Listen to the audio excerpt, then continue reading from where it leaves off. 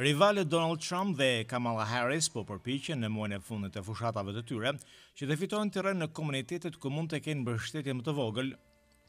Sondazhet tregojnë se nënpresidentja Harris gëzon mbështetje më të madhe mes votuesve gra. Gjatë një tubimi në Karolinën e Veriut, zoti Trump u zotua t'i mbronte gratë, për të cilat tha se janë më të varfra, Me më shumë probleme shëndetësore dhe më pak të sigurta se sa kur ai ishte president. Po harxhojnë më shumë para për ushqimet dhe gjithçka tjetër se sa shpenzonin katër vjet më parë. Janë më të stresuara, më të dëshpëruara dhe të pakënaqura se sa ishin katër vjet më parë.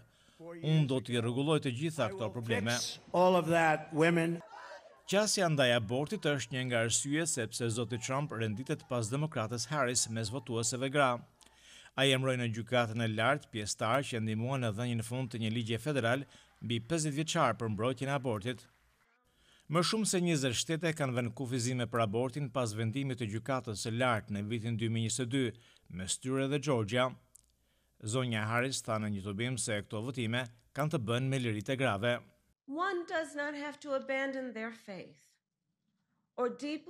Nuk është e nevojshme që dikush të braktisë besimin fetar apo bindjet e veta për të rënë dakord se shteti nuk duhet t'u tregojë grave se çfarë duhet të bëjnë.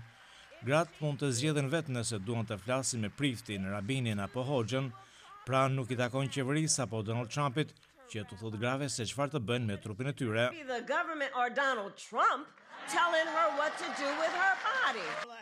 Por nga ana tjetër, republikani Trump kryeson mes votuesve burra. I can't believe we're having this conversation again.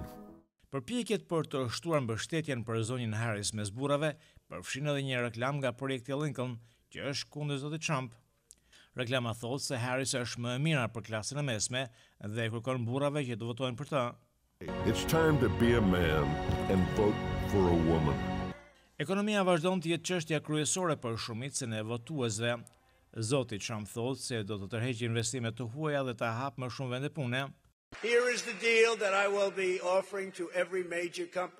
Kompanive dhe bizneseve më të mëdha të botës do t'u ofroj taksa më të ulëta, kosto më të ulët për energjinë, lehtësime për çështjet rregullatore dhe qasje falas në tregun më të mirë dhe më të madh në planet, por vetëm nëse produkti i tyre bëhet këtu në Amerikë.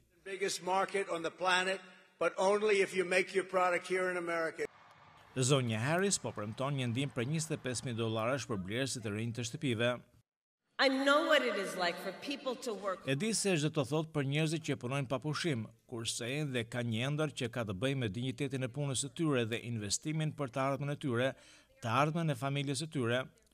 Një investim në krenarinë e tyre, që me të drejtë e meritojnë për shkak të punës së tyre të palodhur. Njëzet e tre shtete kanë vazhduar tashmë votimin e hershëm.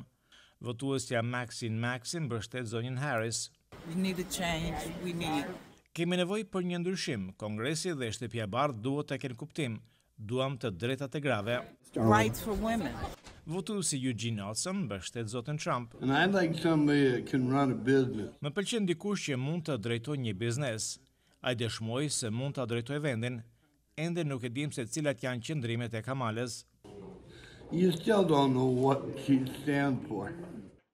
Ndërsa shumica e shteteve janë të vendosura se për kë do të votojnë, ka të ngjarë që fituesi i zgjedhjeve të përcaktohet nga shtetet fushëbetejë si Michigani, Wisconsin, Pennsylvania, Georgia, Karolina e Veriut, Arizona dhe Nevada.